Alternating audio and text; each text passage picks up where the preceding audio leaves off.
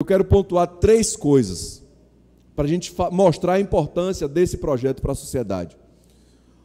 O primeiro ponto e mais importante de todos, que é inegociável, é que a gente precisa de vez acabar com maus tratos aos animais em Feira de Santana. Isso é inegociável, não tem nada que justifique, não tem nenhum outro tipo de argumento social, econômico, financeiro, não tem nenhum argumento que justifique isso.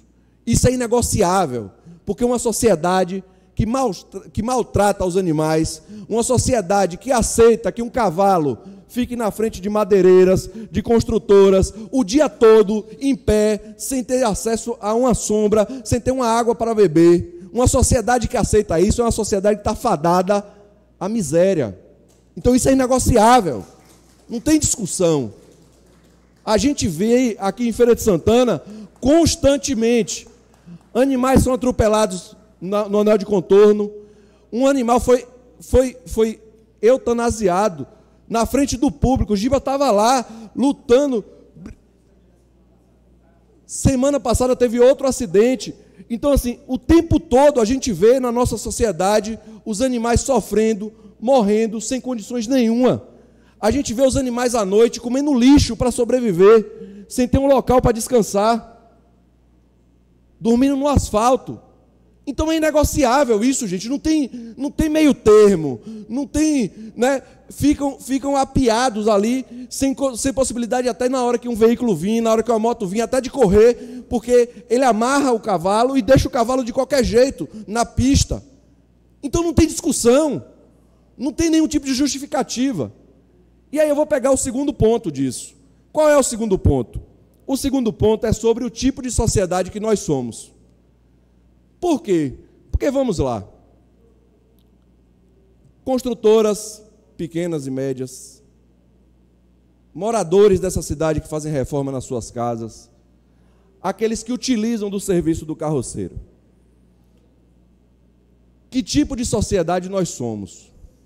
Ele vai atrás do carroceiro porque é mais barato.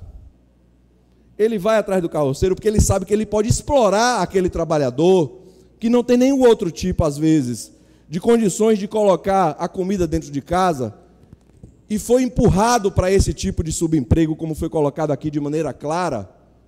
E aí ele explora esse trabalhador, e eu vou lhe dizer, a grande maioria é classe média e média alta.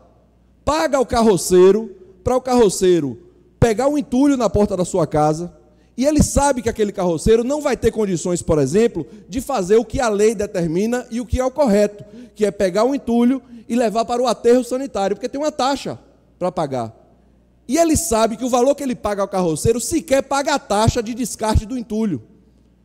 Então incentiva o crime ambiental, porque ele sabe, na hora que ele paga o carroceiro para tirar o entulho da sua porta, das suas vistas, ele sabe que esse entulho vai para as lagoas, para aterrar as lagoas, vai para os córregos que na época de chuva chovem e alagam a casa das pessoas.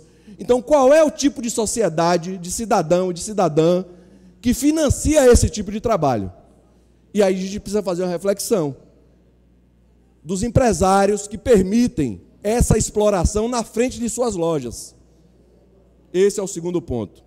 O terceiro ponto é o seguinte: muita gente está falando, ah, mas esse projeto vai tirar o pão de cada dia desse trabalhador. E aí eu entro nesse terceiro ponto de maneira muito clara, dizendo às senhoras, os senhores, o seguinte: como já foi dito aqui, o trabalho do carroceiro é um subemprego.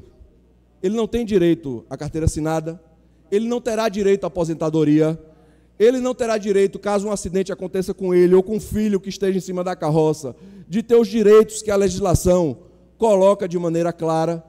Então, na verdade, quem está defendendo esse tipo, de, esse tipo de modalidade, nessa forma, está querendo, na verdade, que aquele trabalhador e aquela trabalhadora continue na miséria, continue no subemprego, continue sendo explorado. Em 96, 96, nós estamos falando de 30 anos, foi colocado um projeto de lei dizendo o limite de peso que um animal poderia carregar. Nós estamos falando de 96. Esse debate já existia já existiam pessoas, homens e mulheres, que entendiam a importância desse debate. 96, temos essa legislação. 2015, tentou-se fazer um projeto de lei que foi aprovado, inclusive, a fiscalização para que nos horários entre 7 da manhã e 7 da noite as carroças não, não transitassem em algumas avenidas da cidade. Veja, quando você faz um meio projeto, quando você faz um, quando você faz um remendo, não dá certo.